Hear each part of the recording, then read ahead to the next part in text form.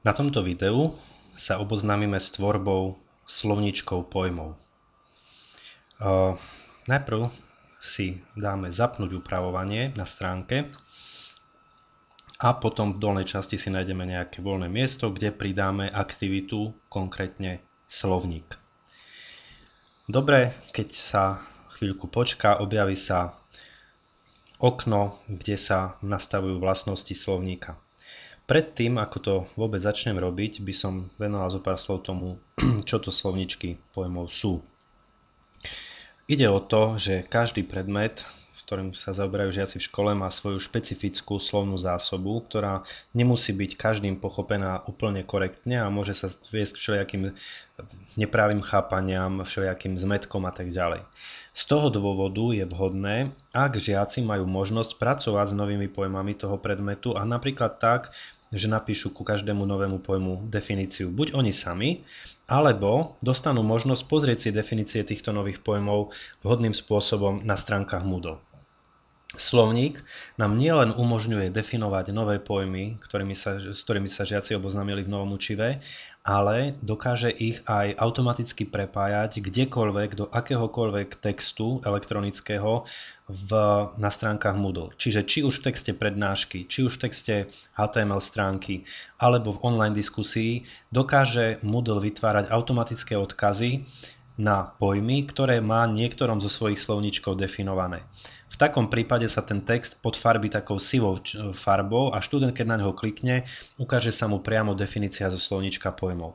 Práve táto črta, táto vlastnosť slovnička pojmov z neho robí veľmi silný nástroj pre to prepájanie, pretože dokáže študentom rýchlo dať informáciu o tom, čo to slovo znamená. Aby keď vidia, že je počiarknuté, pravdepodobne aj tušia, že je dôležité a preto si ho treba pozrieť. Poďme na to vytvoriť nejaký slovník. Takže dáme tomuto slovníku názov slovník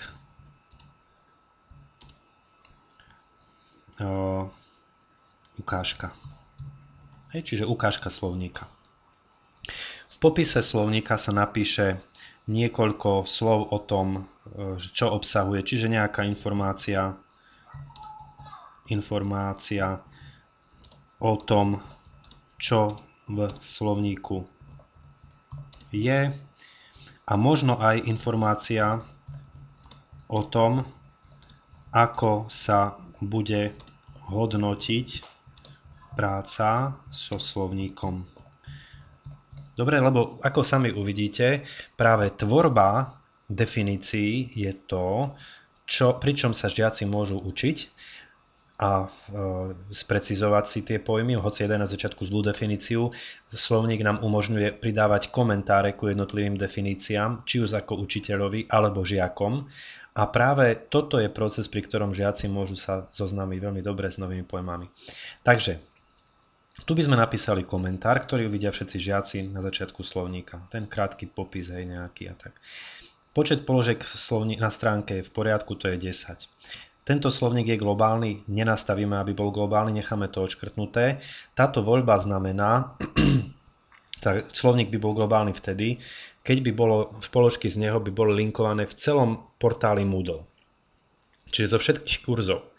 Takéto slovníky môžu vytvárať len administratóri celého portálu, to je iba ja, a nevidím práve veľký význam pre takého niečoho, pretože um, je možné samozrejme, že sa dajú urobiť takéto pojmy, napríklad vysvetliť, čo je to wiki a čo je to, ja neviem, fórum a tak ďalej a to by sa dalo urobiť takýto slovník, ale pokiaľ my chceme definovať špecifické pojmy nášho predmetu, tak vtedy slovník nebude globálny, ale bude sa týkať daného kurzu. Typ slovníku. Existujú dva typy slovníkov, hlavný a vedľajší. Hlavný slovník je vyznačný tým, že môže do ňoho definície pridávať jedine učiteľ.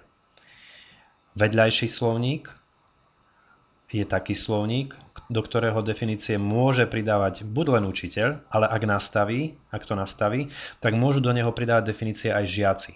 A je tu ešte jeden rozdiel. Hlavný slovník môže byť len jeden pred jeden kurz, pre každý kurz len jeden slovník hlavný a vedľajších slovníkov môže byť niekoľko, môže byť veľa. Čiže náš slovník bude, dajme tomu, že vedľajší slovník. Povoliť duplicitné položky. Chceme či nechceme povoliť, aby sa jedna daná položka vyskyto, bola definovaná viackrát. Ak nastavíme áno, tak žiaci budú môcť napríklad pojem dráha definovať niekoľkokrát. Ak nastavíme nie, tak pri pokuse o definíciu toho istého pojmu nejakým ďalším žiakom bude ten žiak informovaný, že už tento pojem bol definovaný. Pridať, povoliť komentár k položkám. Samozrejme dám teraz, že áno, pretože môjim cieľom teraz je vytvoriť taký slovník, v ktorom budú môcť písať definície aj žiaci, aj učiteľ a v ktorom tí žiaci budú môcť svoje definície navzájom hodnotiť a takisto budú môcť hodnotení byť učiteľom. Taktiež chcem urobiť taký slovník, v ktorom si budú môcť tie definície navzájom komentovať. Čiže Povoliť duplicitné položky sme vraveli, že áno, keďže žiaci vypracovajú pojmy. E, povoliť komentár k položkám áno, povoliť náhľad tlače áno, automaticky prepájať položky slovníku áno.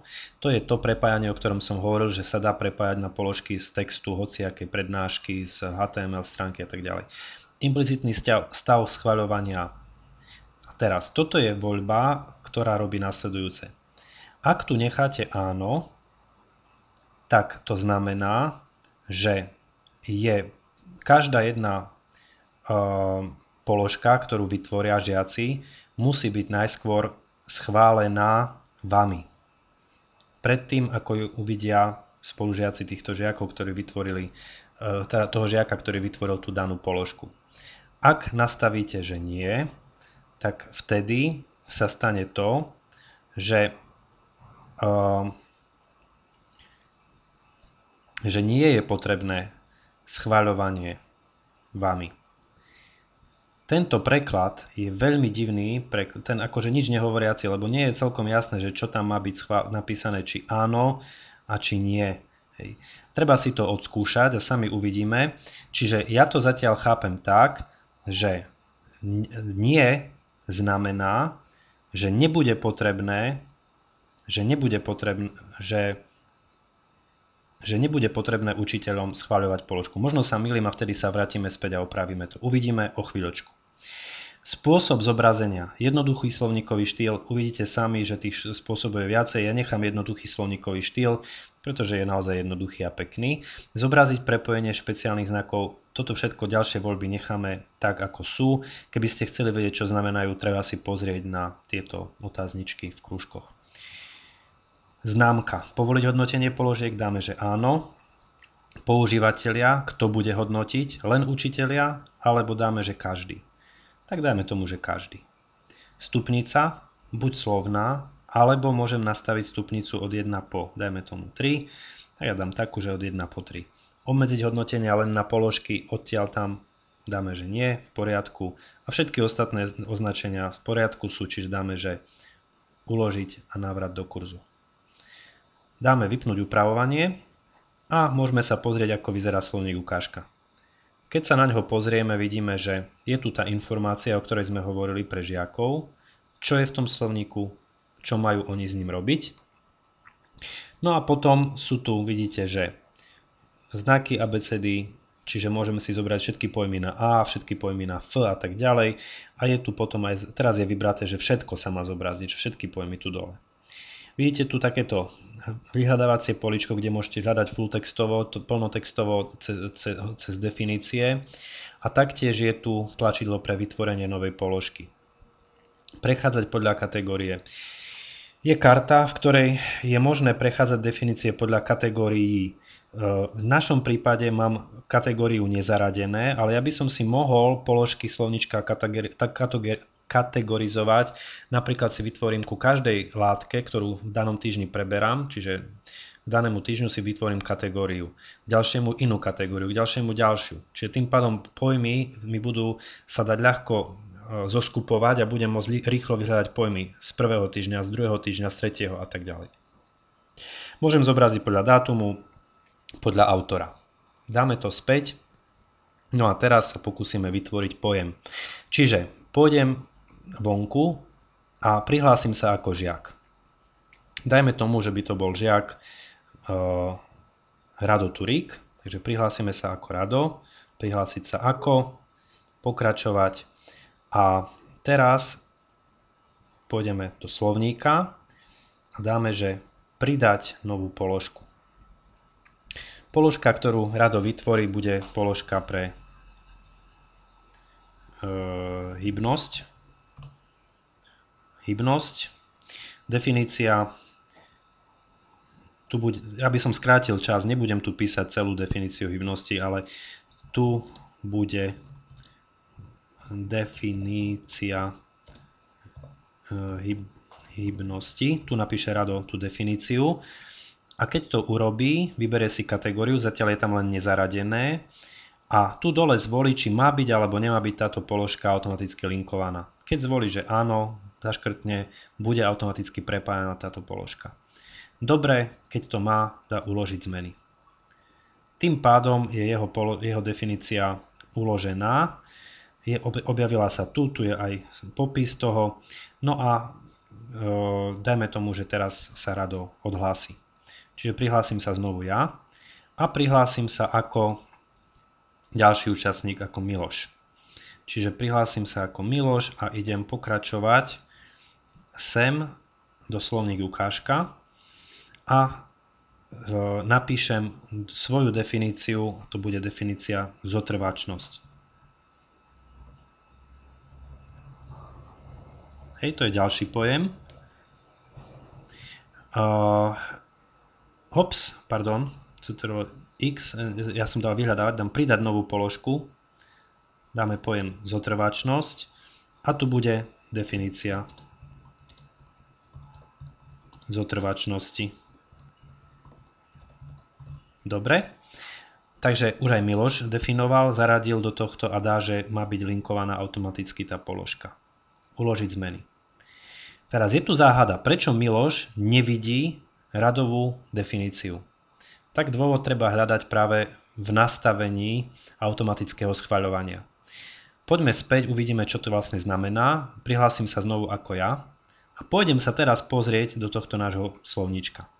Dokonca ani ako učiteľ nevidím žiadne uh, nové položky. Prečo? Lebo tu hore je text čaká na schválenie. Čiže na schválenie čakajú dve položky.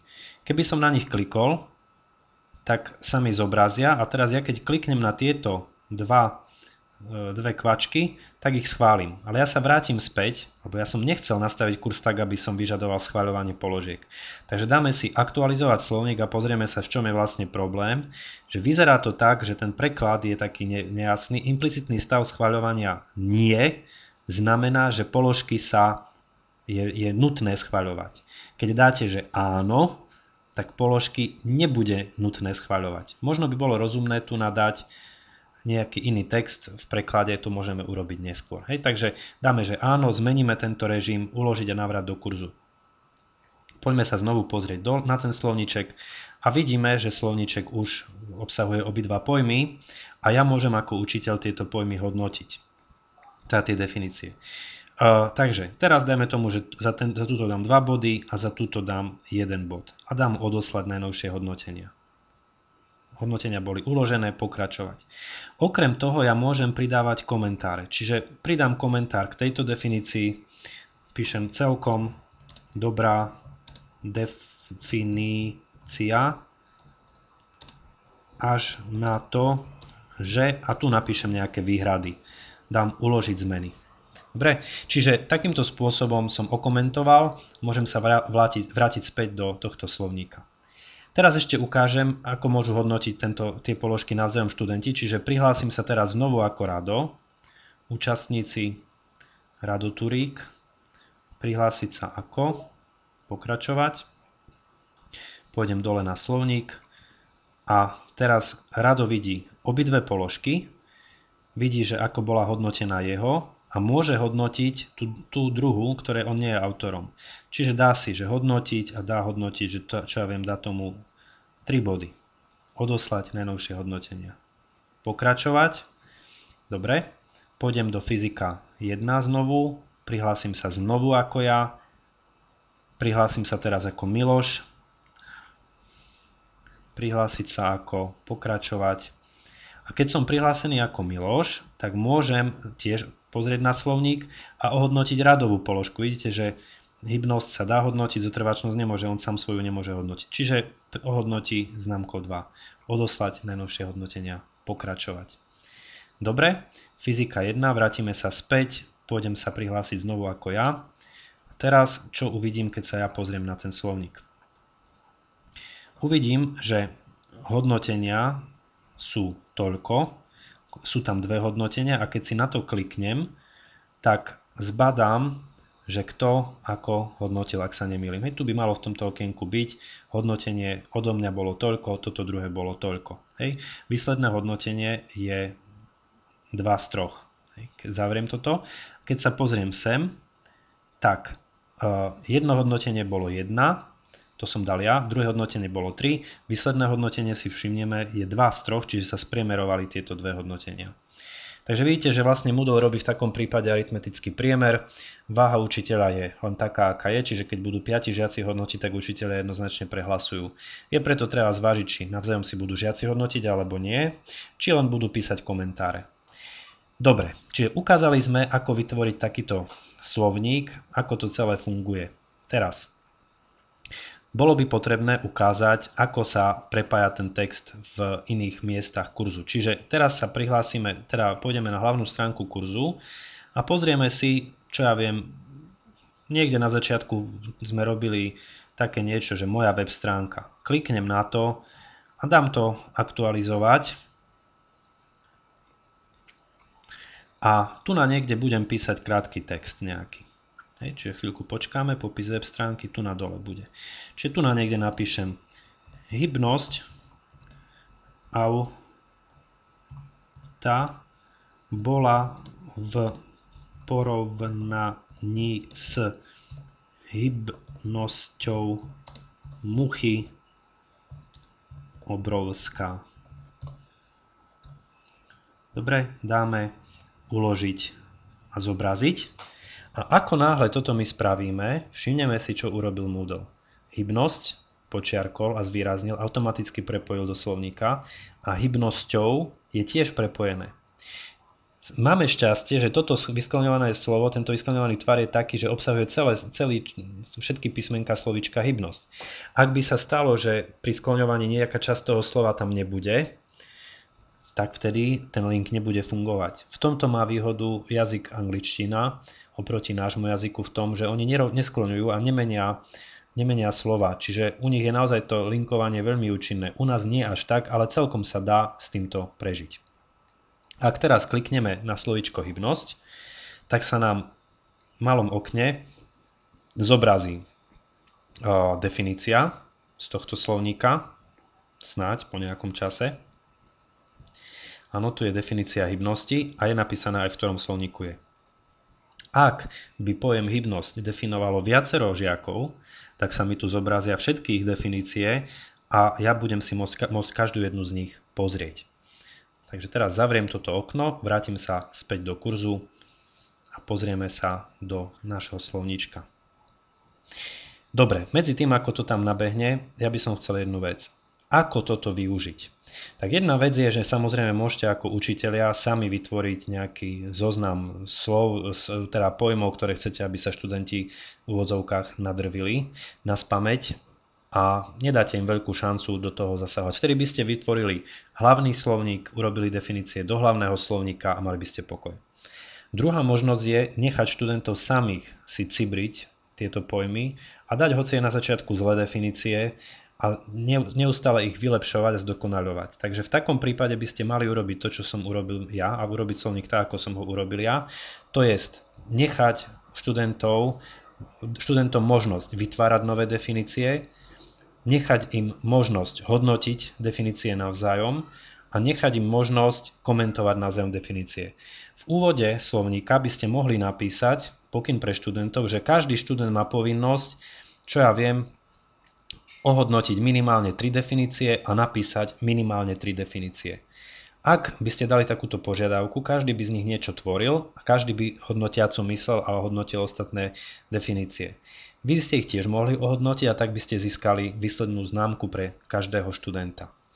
Teraz jedna vec je robiť takéto malé definície, ale čo je o mnoho krajšie, vy tu nemusíte dávať do toho len takéto jednoduché pojmy, že hybnosť, zotrváčnosť.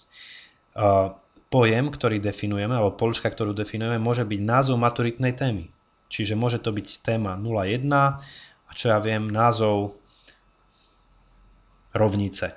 Hej, alebo ja neviem, 01 názov dynamika hmotného bodu. A vtedy by definícia tejto položky vyžadovala encyklopedické spracovanie danej témy každým žiakom. A to, čo môžete vy urobiť, je urobiť toto. Na začiatku školského roka priradiť každému žiakovi v skupine jednu tému, jednu z maturitných tém alebo z tých, čo sú v cieľových požiadavkách a dajme tomu, že spracujete vy jednu ukážkovú tému, aby vedeli, do akej hĺbky zhruba majú ísť. Taká maturitná téma by mohla obsahovať, dajme tomu, krátky, krátku teóriu, samozrejme s obrázkami, so všetkým, kde sú vysvetlené základné pojmy z tejto témy. A potom nejaký príklad z danej témy s riešením. No a plus by ste mohli očakávať od žiakov, že každý napíše komentár k danej téme teraz ako komentovať? Môžete nechať komentár písať iba tak a vtedy vlastne asi dosť ťažko sa, nevyhnete sa asi tomu, že mnohí budú písať, že veľmi sa mi to páči a bez dlhšieho zamyslenia. Alebo môžete vymyslieť niečo, nejaký mechanizmus, v ktorom dáte žiakom komentovať danú tému podľa nejakých dopredu stanovených kritérií. Čiže necháte ich okomentovať, čo ja viem, hĺbku spracovania, a ohodnotiť ju číslom hej, do toho komentára. Necháte ich ohodnotiť uh, uh, kvalitu príkladu číslom a necháte ich, dajme tomu, uh, ešte niečo, napísať niekoľko poznámok k tomu. A už žiaci budú mať nejakú štruktúru, ktorej sa budú musieť držať a už sa to nebude dať až celkom tak ľahko odfláknuť. Hej, budú musieť konkrétne niečo nájsť, čo pochvália. Konkrétne niečo, čo sa im nepáčilo. Hej, dajme tomu im dáte podmienku, že minimálne jednu vec vyzdvihnúť a minimálne jednu vec skritizovať z danej otázky. Hej. Vtedy žiaci začnú veľmi sa snažiť a myslím si, že to môže celkom dobre slúžiť ako slušný spôsob zopakovania maturitných otázok. Jedna z ďalších možností, je, ktoré používali učiteľia glosár týmto spôsobom, je, že nechali žiakov za úlohu, im dali do glosára vytvárať otázky k danému predmetu, ktoré neskôr boli použité v online teste k danému predmetu. Čiže oboznámili žiakov s typmi otázok, aké typy otázok pozná Moodle, vy už ich viete, vy poznáte, lebo ste už robili testy a nechali žiakov vytvárať takéto typy, s tým ale, že nastavili ten uh, glosár, teda slovník pojmov tak, že vyžadoval najprv schválenie od učiteľa. To znamená, že keď žiak dal svoj teda návrh na otázku do testu, tak ostatní ju nevideli a učiteľ to ani neschvaľoval, jednoducho učiteľ len zobral tieto otázky, vyexportoval ich do textu a vytvoril z toho text, test, teda, ktorý samotní žiaci vytvorili. Čiže sú všelijaké stratégie, je tu možností je veľa, niekedy tvorivý nápad e, dokáže veľmi, veľmi pomôcť. Ja som spomenul len niektoré a je znovu na vás, aby ste uvážili, ako toto, ako tento nástroj, ktorý je pomerne silný a dokáže linkovať pojmy z textov a tak ďalej, ako ho môžete využiť pri svojich kurzoch. Toľko k slovníkom pojmov.